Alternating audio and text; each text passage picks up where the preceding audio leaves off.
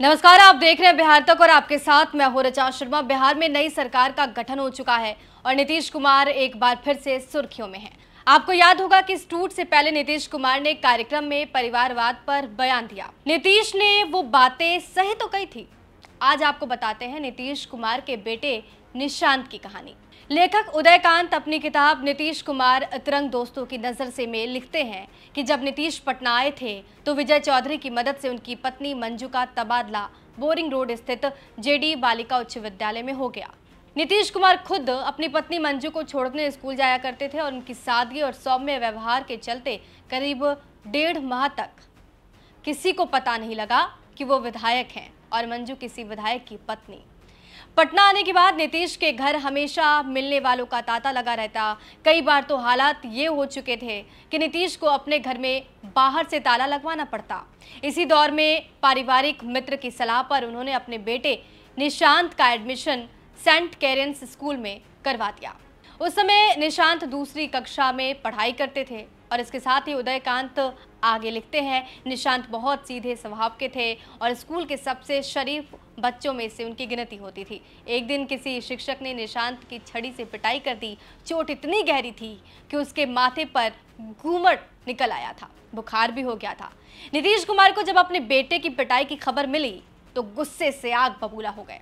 हालाँकि उन्होंने अपने करीबी लोगों से बहुत ही सभ्य भाषा में इसकी चर्चा की और जब तक उनके दोस्त स्कूल के प्रिंसिपल से इसकी शिकायत करते, तब तक नीतीश और उन्होंने निशांत का नाम उस स्कूल से कटवा दिया।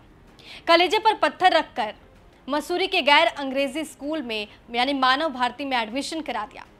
निशांत कहते हैं कि पापा के दोस्तों, सरयू राय अंकल और अरविंद अंकल की सलाह पर मसूरी स्थित मानव भारती नाम के नए स्कूल में मेरा एडमिशन करा दिया गया और वहाँ मुझे हॉस्टल दिलाया गया। मेरे कमरे से हॉस्टल का बाथरूम बहुत ही दूर था और वहाँ जाने में मुझे बहुत डर लगता था।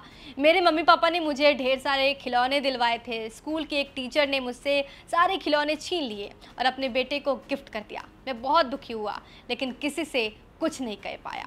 इन सब के बावजूद मैं भरसक मन लगाकर पढ़ाई करने की कोशिश करता रहा लेकिन वहाँ मेरी तबीयत अक्सर ख़राब होने लगी।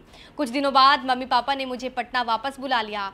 इस बार केंद्रीय विद्यालय में एडमिशन करा दिया। निशांत अपने बचपन को याद करते हुए कहते हैं कि एक बार को छोड़कर पिताजी ने आ, मुझे ना तो कभी ज़ोर से डांटा और ना ही पीटा। घटना तब की है जब मैं स्कूल में था।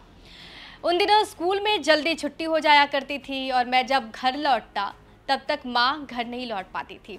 कभी कभार मैं नीचे जाकर अशोक अंकल, अशोक चौधरी को उन्होंने अंकल कहा, उनके पास जाकर रहता था। एक दिन माँ घर में नहीं थी और मैं स्कूल से आकर खेलने में बिज़ी हो गया। पापा ने कई बार होमवर्क करने को कहा, पर मैंने अनसुना कर दिया और बाद में ज़िद करने लगा। इसके बाद उन्हें बहुत गुस्सा आया, अपने दोनों हाथों से मेरी बाह को पकड़कर मुझे उठा लिया और छत से नीचे छज्जे पर लटका दिया। मैंने अपने पापा को इतना गुस्सा करते कभी नहीं देखा था। इससे अच्छा होता कि वो मेरी पिटाई कर देते। बाद में उन्हें भी अपनी गलती का एहसास हुआ था और मुझे भी अपनी गलती समझ में आई थी।